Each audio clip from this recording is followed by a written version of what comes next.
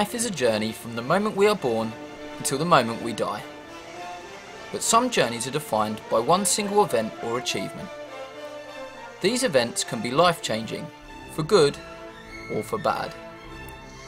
For one man, an act of courage in the centre of a boxing ring would mean that his life would never be the same again.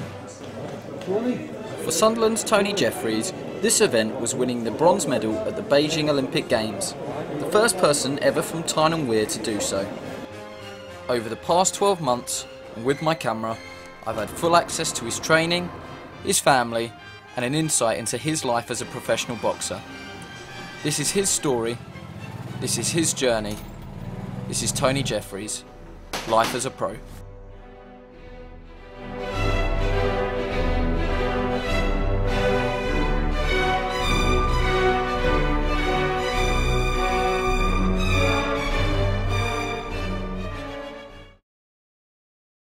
Tony David Jeffries was born on March the 2nd, 1985, in Sunderland General Hospital, to parents Doreen and Phil.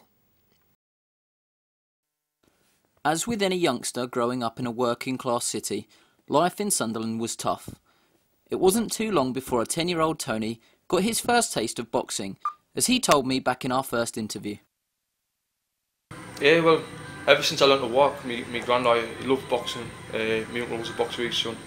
And uh, he used to always, when I could, as soon as I could, as soon as I was that big, he was always stand up and I used to his throwing punches on his hands and just always sit, bought his boxing gloves when I was little.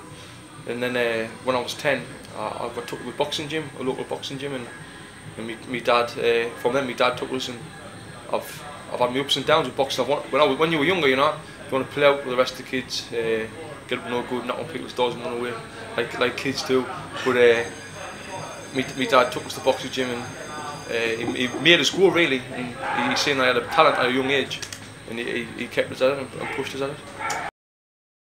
So it was Tony's granddad Bryce who first introduced him to the sport, but he didn't get off to the best of starts. My first fight was at the Roker Hotel in Sunderland. Uh, how old was that? Was that 10? I was 11 years old. 11, you couldn't get, you couldn't get a match, you was too big, wasn't you? Too big for the, I was, I was big for the age, and uh, For the age. and I was probably cacking my pants, like really scared. It's horrible, really horrible. And uh, I, I went in the ring and my mum was out there. It was a dinner show, everyone was on the dinner tables. My mum was on the table with me, with my dad and that. He come over to me and he went, man, I'm, I'm, I'm terrified. Oh, you'll be alright. He went, no, really, I'm really, really, I'm, ter- I'm really terrified. I went, well, you'll be alright. Just see, it, see how you go. You'll be alright, man. And I thought, oh, God, it's horrible because he's really terrified. I was like, sorry for him. And then he got in the ring and I was like, oh, no, no, I felt it sorry for him. And then he, he started doing something funny and I went, look at him, he's terrified. and I had to get out of the room, didn't I? Losing his first two fights could have put Tony off for good, but he stuck with it and soon started to notch up the wins.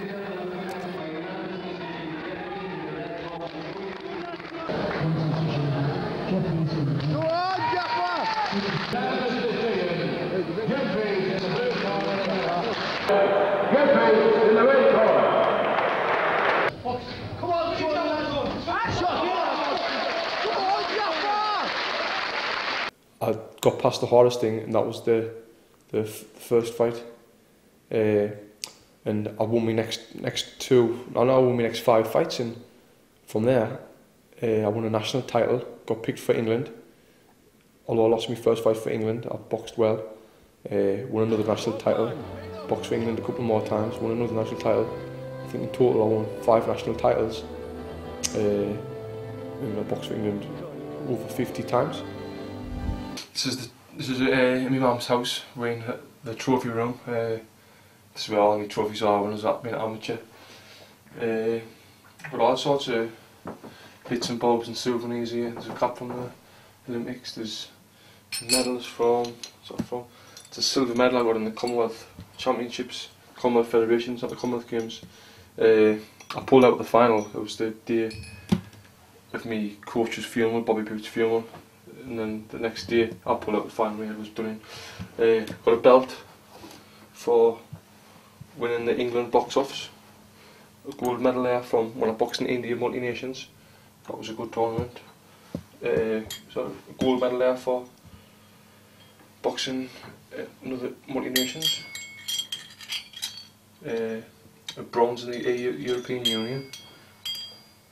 It's a gold medal there. Something else I'm trying to see what my, my, my best one was.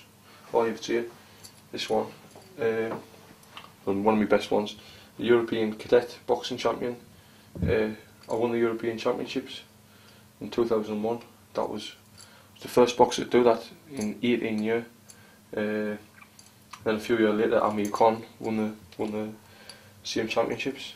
Uh, so all sorts of trophies. These are England vests. I'm my first. This is, this is my very first England vest when I was I was a 15 year old, 1999. I boxed against Ireland. I lost that fight. Uh, boxed a good kid, Darren O'Neill. Still boxing now. But I England vests when I boxed in the European Championships. From there, went to Commonwealth Games. Wasn't so successful in them. I really wanted to win gold. I thought I was going to win gold, but I lost to Kenny Anderson from Scotland, who's a who's a very good professional fighter now. Uh, I was devastated when I lost that fight. I really, really was. It was the worst worst moment of my life, and it it stopped us for for years. It really did. Two years later, Tony achieved his qualification to Beijing in Chicago, overcoming the toughest of draws against the American team captain and beating his Belarusian opponent. And then once I qualified, my life started to change then. Seeing getting invited to big shows, meeting celebs here and there, uh, getting recognised around, and I, it was it was just that was just qualifying for the Olympic Games, getting a lot of press and publicity, and then when the Olympic Games finally come round, I mean I trained really hard. It was like a year nearly until from I qualified to the Olympics. The the training was really really tough in Sheffield, four days a week, uh, three four times a day, and. Uh, the Olympics come and unfortunately I went there with a cracked rib. I was gutted. My, my preparation the last few weeks was terrible, the worst I'd prepared for any fight. So I was devastated about my preparation. So I trained all these years and all this time for the Olympics and I finally get there, get there with a cracked rib. I was gutted, but I had to keep it quiet in case it got out in the press. So everything Tony had worked for, all the blood, sweat and the tears, had left him in with a shout of a medal. All he needed to do was win and it was everything I trained for and I was waiting for that fight. I remember the last 10 seconds of that fight, I knew I was 8 points up or something. And I heard the crowd counting down 10, 9, 8, and I thought, once this bell goes, I've got an Olympic medal, something I trained for for years and years.